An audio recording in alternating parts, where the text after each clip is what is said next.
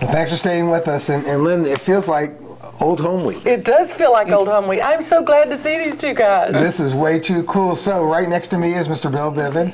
Um, Bill served on the school board with Lynn for a number of years. And, uh, and Dr. Al Moore. Um, Al is now retired veterinarian. Yes. Uh, but, but very much still involved in our community, as is Bill, who is still practicing law. Um, but y'all served on the board together. We did, and they taught me everything on the board. I don't think so. First of all, it was their fault I got on the board. Oh, is that right? Yeah, we weren't doing as good a job as she wanted us to do. Now, that sounds right. That's that right. sounds right. I was so shy and retiring, I can't imagine that. Yes, we understand that. They that's- did. They they chose me to fill an unexpired term on the board. So I was appointed first, Yes. served right. a year, and then had to run for election. When that opening first came up, the first lady, lady of Humble, Lillian McKay, came to me and said, "You know Lynn Fields? She needs that spot." I didn't know that. And Wow. when when Lillian Wow. corners you, you're cornered. you do what Lillian says. so That's right. uh, we went through the process, and uh, and I told Lillian, uh, told Lillian we have to go through a process, of, and we interviewed a number, and of course you were the, uh, we had a criteria, and you were the best, and, and we appointed you, and you've done a wonderful job. Oh, thanks. And how many years did y'all serve? I served for 13 years, and he served for 28. Wow. He's the dean. Wow. the dean. He's the dean. of the I was a slow learner. He's the dean. They were the voices of reason. Now, Bill was more of a bandy rooster on the board. Al was just steady as you go, Al. You always knew that he was going to be the voice of reason, right? That's right. Very That's true. right. He Very and true. Bonnie. Yep. Bonnie was always very- always Bonnie had the very details. Yes. Bonnie knew it. She knew everything. Right. Bonnie That's is a walking encyclopedia oh, of school knowledge for A very, everything. very learned woman. yes, Very, yes, very. she is. So th- think back, guys. So what was maybe one of the either bigger challenges or or memorable times on the board that that involved Lynn? You know, her ability to communicate. And I guess that's ex- an example of that is this program that y'all done That's for, right. did you say 12 years now? Twelve years. You know, uh, she, very articulate, and she knew her positions, and she uh, did her homework. And when we were discussing something, she knew her position, and she was articulate ab- about it. Uh, she would listen to the others, and she was flexible, but yet. Uh, she knew her positions, and, and, and we learned real quick that- that what her positions were. You mean I was stubborn? Uh, no, no, You were- persistent. Persistent. That's- that's a good word.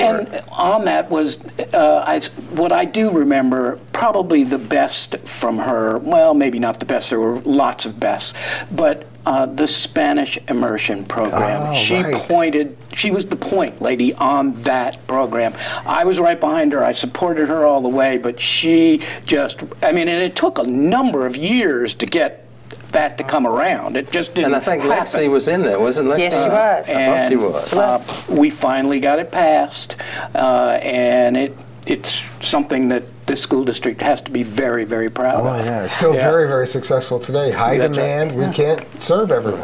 Well, and back then, the district's uh, demographics were not what they are now. So it was difficult for a lot of the community uh, to understand why would you want a Spanish immersion program? Why would they need to speak English only? Why would it be beneficial for the district? And as a board, you know, we were seeing demographic reports from Texas A&M about, you know, the way Texas was going to be going and as it has turned out, Texas is predominantly Hispanic now. And for kids coming out of school, they should be bilingual. It's You know, important. and, and Spanish should be their second language in Texas, particularly because that's the way things are now. And you want them to be competitive in the job market. All students, regardless of what their origins are, they all need to be bilingual. Uh, again, great program to And this this day. brings up the other main thing about Lynn. She talked about students. Students were her focus. Students, uh, just, you know, everything was looked at from the viewpoint, the focus of what would be best for the student and their educational process.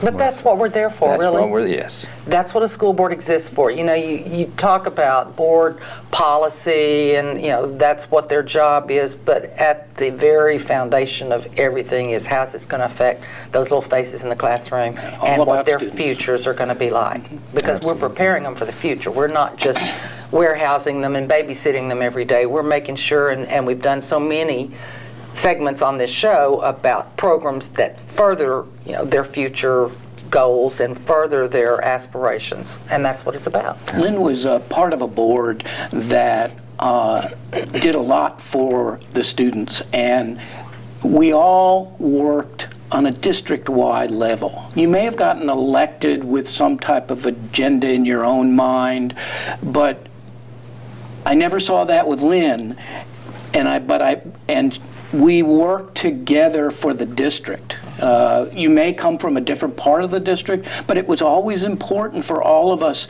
to do what was best for the children in the district. And that's what you all did, at least from this guy's vantage point. You point. know, You worked very, very closely We would have our difference of opinion, but once the vote was taken, we came together and supported the, the decision that was made and, and did not try to undermine it. And that was uh, very important because, you know, we've gone to conferences and talked with other boards where there, it's not that way. No, it's not. Well, Not, not universal. And the beauty of the board, you know, when Bill and, and Al were on it, and Bonnie and Ann, and you know, those who served, you were there because you wanted to be. You didn't have, like Bill said, an ulterior motive. You didn't try to grandstand. You all pulled together as a team. So it was not an I or me thing. Mm-hmm. It was the team worked together, and if we disagreed in something, the public never saw it. It was behind closed doors when we did, you know, closed sessions. You agreed on something, you know, whether you did personally or not, you pulled together for the good of the district and the good of the team. And, you know, sometimes you don't see that in school boards, so I think we were very lucky. We were. Well, It was a you- great board. You all did amazing work. I'm, I'm sorry to say he's waving me on that we're, we're getting out of, ta- uh, out of time, but want to do, um, Dr. Moore, Mr. Bivens, the same thing. So here's your chance. One word, phrase that in your mind really describes Energy. energy. No more. He took my word. See that? Unanimous. It's just no more the energy is waning now. in the older I really, get. it just she came on with everything she had to deal with all the problems and was very knowledgeable.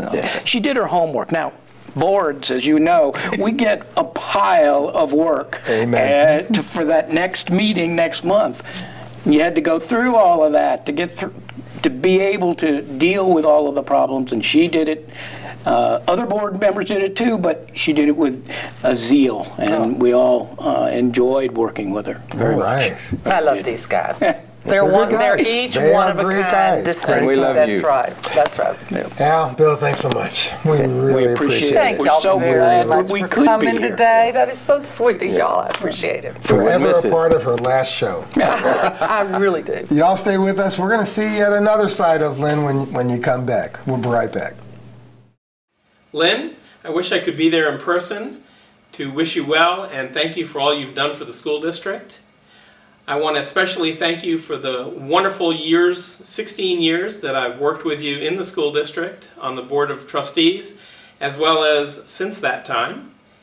And it's been an absolute joy working with you because all of that time, your only concern was what was best for the students in the school district. Really appreciate that, and it's been a wonderful time. Also, I'd like to thank you for all of the sharing with the public and also the promoting of the science and engineering fairs in the school district, as well as the Insperity Observatory, and all the wonderful things those have brought to the students as well. So thank you, good luck, and uh, wish you well, and really appreciate what you've done.